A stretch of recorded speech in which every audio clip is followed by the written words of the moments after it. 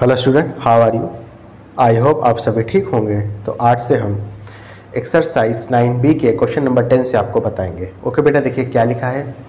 लिखा है in the following figure O A is equal to O C and A B is equal to B C prove that angle A O B is equal to ninety degree A O D is congruent to C O D and A D is equal to C D clear है बेटा? अच्छे से, चलिए। आसान question है, इस बात को समझेंगे। सॉल्यूशन ठीक है? यहीं पे कर रहा हूँ, समझो। फ़र्स्ट ऑफ़ ऑल बेटा, इस क्वेश्चन में दिया क्या क्या है? पहले हम इसको लिखेंगे। गिवन में। आसान क्वेश्चन है। ठीक है, देखो। पहली चीज़ दी है कि ओ ए और ओ सी बराबर हैं कॉमा में। उसके बाद क्या दिया है कि ए बी और बी सी बराबर है। ये दो चीज़ मेनली आपको दी है। प्रूफ क्या क्या करना है? टू प्रूव में क्या लिखेंगे, देखो ज़रा। टू प्रूव में। पहली चीज़ लिखेंगे कि एंगल ए ओ बी इसका मान 90 डिग्री प्रूफ करना है। दूसरी चीज़ लिखेंगे कि triangle A O D is congruent to हो जाएगा triangle C O D third चीज़ लिखेंगे कि A D is equal to C D हो जाएगा। क्लियर है? अच्छे से। प्रूफ में देखो बेटा। फ़र्स्ट ऑफ़ ऑल आप लोगे ए ओ बी ट्राइंगल और बी ओ सी ट्राइंगल ठीक है? आप क्या लिखोगे कि in triangle O B and triangle B O C आपने ये दोनों ट्राइंगल को लिया बेटा, अच्छे से क्लियर है? देखो, समझना। ए बी आपका बी सी के बराबर है। ये चीज़ें गिवन है बेटा। ए बी बी सी के बराबर होगा। ओ ए ओ सी के बराबर हो जाएगा। क्लियर है? ये जो ओ बी साइड है ना, ये दोनों ट्रायंगल में कॉमन है। तो O B is equal to O B हो जाएगा। इसका रीज़न क्या रहेगा? इसका रीज़न लिख दोगे कि ये कॉमन साइड है कॉमन लिख दो बस। और इन दोनों का रीज़न क्या रहेगा? ये तो क्वेश्चन में गिवन है तो इसको आप गिवन लिख दो। क्लियर है? अच्छे से? तो यहाँ पे करता हूँ। तो आप लिखोगे therefore triangle A O B is congruent to triangle C O B C O B लिखो बी ओ सी लिखो, बात सेम है। ठीक है तो इस पर मत पकड़ना मुझको। चाहो तो यहाँ इसको काट को बी ओ सी लिख लो। सी ओ बी लिखो बी ओ सी लिखो, बात सेम है। क्लियर है? समझ में आया? अब समझना एक बार दोनों ट्रायंगल कॉन्ग्रेंट हो गए तो इनके एंगल भी तो बराबर होंगे ना? तो आपका जो ये वाला एंगल है एंगल बी ओ सी और एंगल ए ओ बी बराबर हो जाएगा। तो आप लिखोगे angle A O B is equal to angle B O C reason क्या रहेगा? C P C T C okay अच्छा एंगल ए ओ बी और एंगल बी ओ सी का सम कितना होगा? यानी ये वाला एंगल इसके बगल में ये वाला एंगल इन दोनों का सम कितना होगा? एक सौ अस्सी डिग्री होगा ना? क्योंकि ए सी आपका एक स्ट्रेट लाइन है और स्ट्रेट लाइन पे जितने भी एंगल आते हैं, यहाँ पे तो दो ही आ रहे हैं एंगल ए ओ बी और एंगल बी ओ सी उनका सम एक सौ अस्सी डिग्री होता है लीनियर पेयर की प्रॉपर्टी के हिसाब से। तो आपका angle A O B plus में angle B O C is equal to कितना हो जाएगा? एक सौ अस्सी डिग्री। और एंगल ए और बी ओ सी बराबर है तो अगर आप बी ओ सी की जगह पे ए रख दें तो बात तो बन जाएगी ना यानी कुछ हर्ष तो नहीं है रख सकते हैं तो एंगल एओबी प्लस में एंगल ए ए ही क्यों रखा है क्योंकि हमको ए ओ बी तो 90 डिग्री दिखाना था ना इस वजह से रखा है अगर B O C ninety degree दिखाना होता तो हम ए की जगह पे बी ओ सी रख देते इज़ इक्वल टू एक सौ अस्सी डिग्री क्लियर है A O B A O B मिल हो जाएगा two angle A is equal to एक सौ अस्सी डिग्री। टू को इधर भेजेंगे या डायरेक्ट रिड्यूस कर दो। तो ए बी की वैल्यू कितनी आ गई? नाइन्टी डिग्री आ गई। क्लियर है? अच्छे से। अब देखो, पहला पार्ट प्रूव हो गया ना। सेकेंड पार्ट क्या प्रूफ करना है? कि एंगल ए ओ डी को एंगल सी ओ माफ़ करिएगा ट्राइंगल ए ओ डी को और ट्राइंगल सी ओ डी को कॉन्ग्रेंट दिखाना है। तो दिखा लोगे बेटा, देखो। ये आपका 90 डिग्री प्रूव हो चुका है और ये भी 90 डिग्री प्रूव हो चुका है। अच्छा ये 90 डिग्री है तो इसके अपोजिट वाला कितना हो जाएगा? ये वाला एंगल ये भी तो 90 डिग्री होगा ना? वर्टिकली अपोजिट एंगल का नाम सुना है ना? और अगर ये 90 डिग्री है तो इसके अपोजिट वाला भी, ये भी 90 डिग्री हो जाएगा वर्टिकली अपोजिट एंगल के थ्रू ठीक है ना? समझ गया कि नहीं? अच्छा। चलिए, दिखाते हैं सेकेंड पार्ट सेकेंड पार्ट को प्रूफ करना तो आप लिखोगे in triangle A O D and triangle C O D ठीक है? A O is equal to O C ये गिवन है आपके क्वेश्चन में, ठीक है? Angle A O D is equal to angle D O C is equal to ninety degree okay और O D is equal to O D हो जाएगा, ये आप दोनों का कॉमन है, ठीक है ना? ये आपका कॉमन था दोनों side O D is equal to O D A O is equal to O C ये गिवन था आपका। और ये आपने पता लगाया है। पता क्या लगाया है? जब इसको 90 डिग्री प्रूफ करी थी तो ज़ाहिर सी बात है वर्टिकली अपोजिट एंगल के हिसाब से ये भी दोनों भी 90 90 डिग्री हो जाएँगे। ओके ये डी है सही कर लो। तो यहाँ पे लिखोगे आप triangle A O D is congruent to triangle C O D criteria कौन सा लगेगा? Side angle side side angle side okay अच्छा यहाँ पे क्राइटेरिया कौन सा लगा था? यहाँ तो मैंने क्राइटेरिया नहीं लिखा था। समझ तो गए हो गए तीनों साइड बराबर है तो साइड साइड साइड लग जाएगा। ठीक है ना? अच्छा। ए ओ डी और सी ओ डी अगर कॉन्ग्रेंट हो गए तो आप A D is equal to C D तो कह ही सकते हो ना सी पी सी टी सी के थ्रू तो आप यहाँ पे लिख दो कि A D is equal to C D हो जाएगा।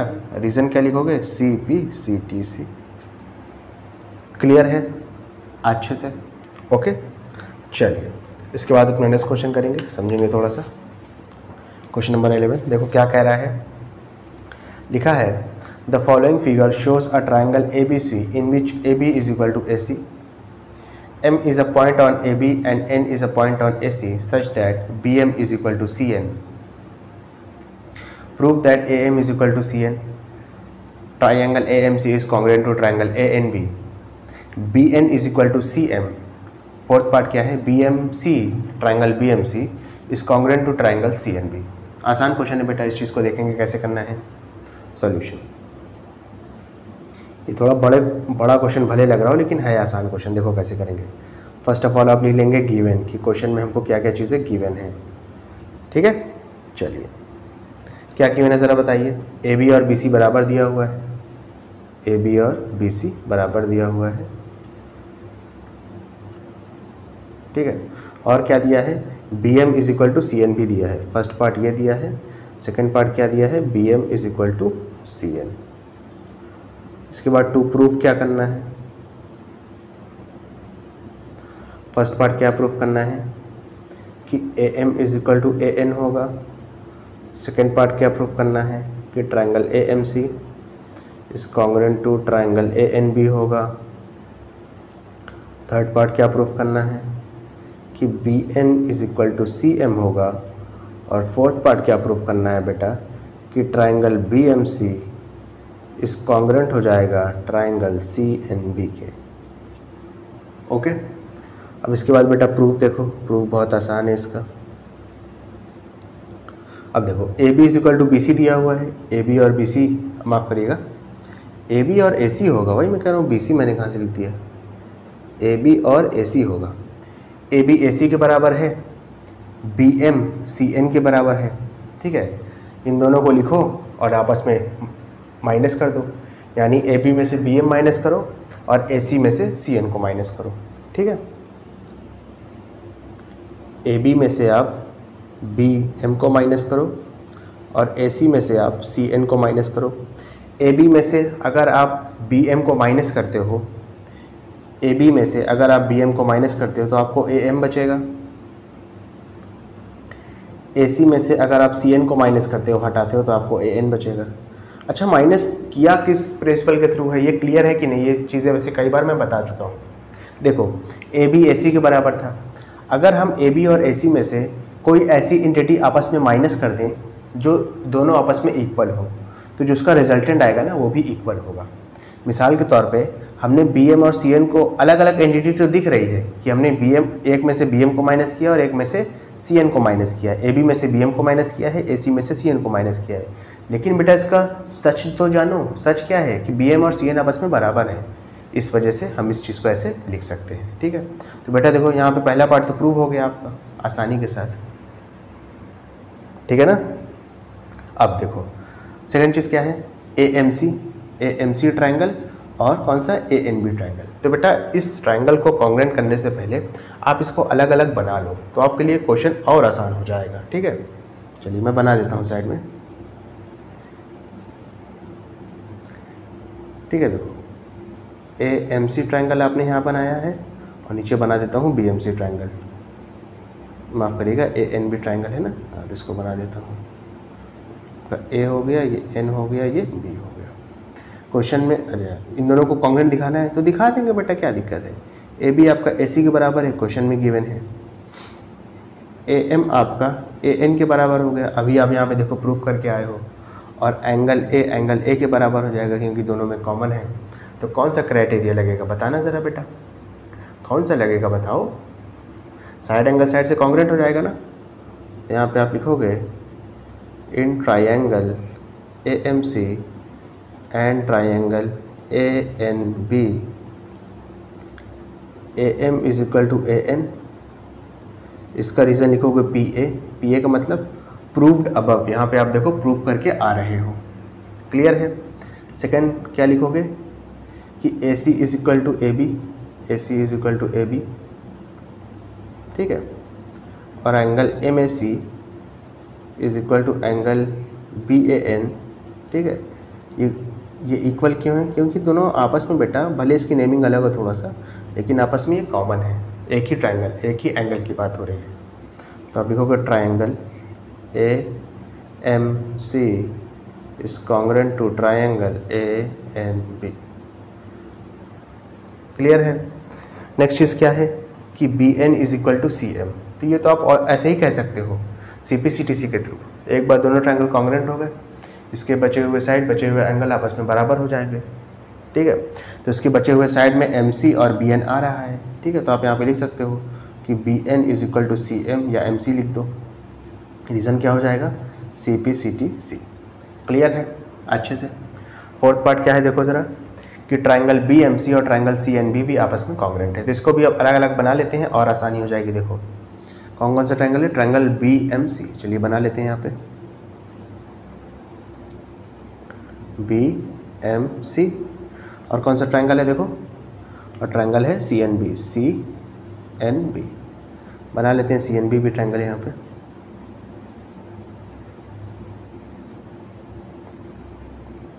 अब देखो क्वेश्चन में क्या दिया है? अच्छा ठीक है, कोई दिक्कत वाली बात। देखो, ये तो और आसान है बेटा। ये तो साइड साइड साइड से ही कॉन्ग्रेंट हो गया, देखो। बी सी आपका बी सी के बराबर होगा क्योंकि कॉमन साइड है, एक ही साइड है। ठीक है?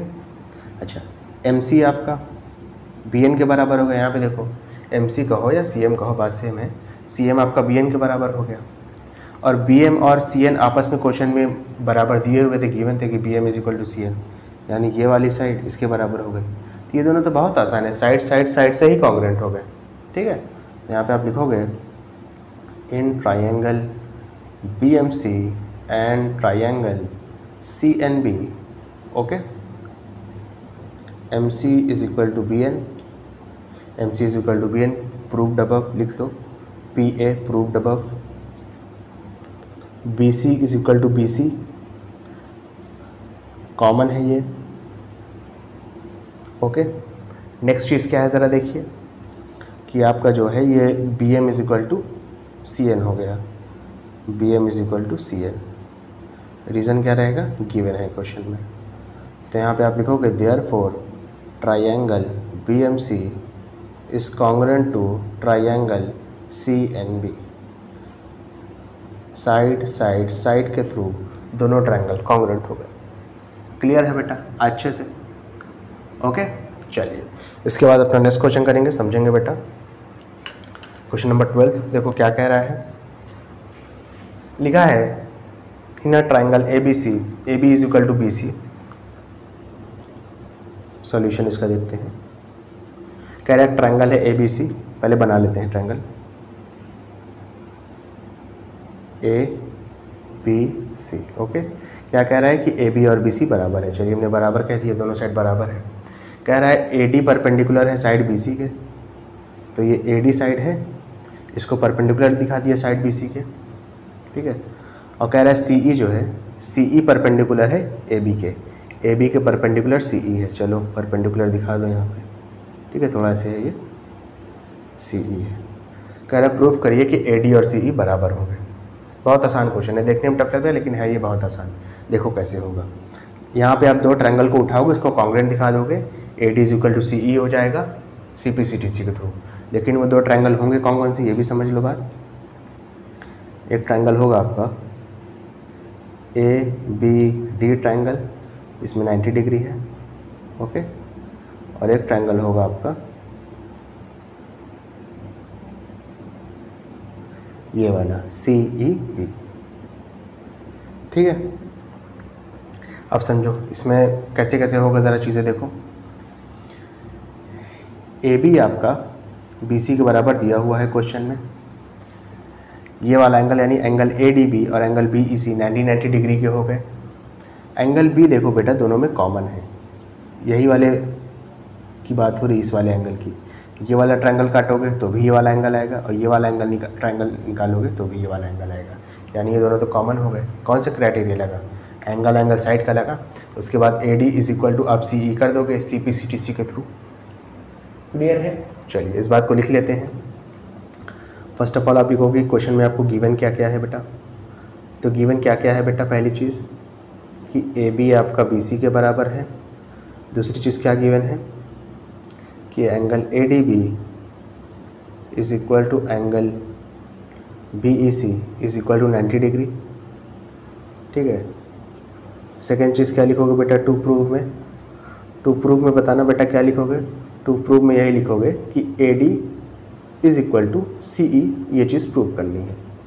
तो प्रूफ कैसे करोगे बेटा? ज़रा बताना। आप लिखोगे in triangle A B D and triangle B E C okay लिखोगे A B is equal to B C A B is equal to यहाँ पे बी सी लिख लो। ये आपका क्वेश्चन में गिवन है ओके अच्छा इसके बाद लिखोगे आप एंगल ए बी डी यानी ये वाला एंगल इसके बराबर है is equal to angle E ये दोनों इक्वल क्यों हैं? क्योंकि बेटा कॉमन है ये, एक ही एंगल की बात हो रही है, ठीक है? और लिखोगे angle A D B is equal to angle B E C is equal to ninety degree ये चीज़ आपके क्वेश्चन में गिवन है। ओके तो ये हो जाएगा therefore triangle A B D is congruent to triangle B E C criteria कौन सा लगा बेटा? एंगल एंगल साइड जैसे ही एक बार दो एंगल माफ़ करिएगा, जैसे ही एक बार दो ट्रायंगल आपस में कॉन्ग्रेंट हो गए, उसके बचे हुए साइड बचे हुए एंगल आपस में बराबर हो जाते हैं सी पी सी टी सी के थ्रू ठीक है? तो आप लिख सकते हो कि A D is equal to C E हो जाएगा। A D is equal to C E हो जाएगा। रीज़न क्या रहेगा? C P C T C clear है बेटा? अच्छे से ओके स्टूडेंट अगर आपको वीडियो पसंद आई हो तो उसको लाइक करें कमेंट करें शेयर करें। और इस वीडियो को उन बच्चों तक ज़रूर पहुँचाएँ जो कोचिंग को अफोर्ड नहीं कर सकते। Thank you